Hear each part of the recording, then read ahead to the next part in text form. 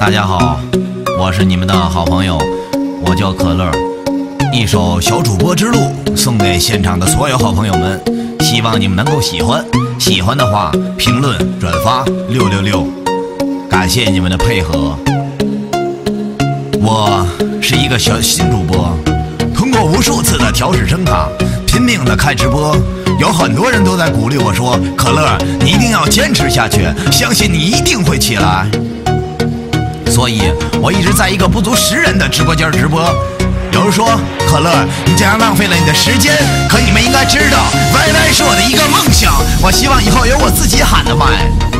这就是我，我没有在抱怨，只是在诉说我的经历，送给所有支持我的人，以及给我刷过每一分钱的人。感谢你们的陪伴，感谢你们的支持，以及你们的照顾。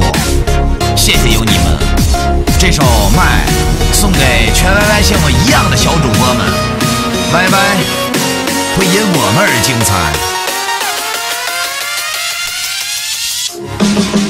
我是一个小主播，把我感受说一说。来到 YY 半月多，我一路太多的坎坷。我不奢望榜多高，只想做到人气超。整天挨累把心操，我为这直播我掉标。曾经嗓子喊出血，没人会把我理解。都说是你的老铁，我最后还是把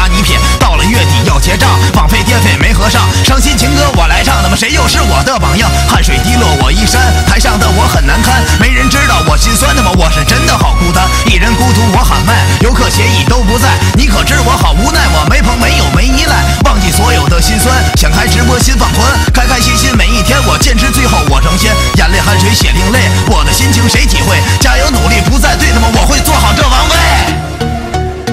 每个人都有自己的梦想，在实现梦想的过程当中，会经历无数次的坎坷，每个人都会坚持自己的理想，然后再完成自己的理想。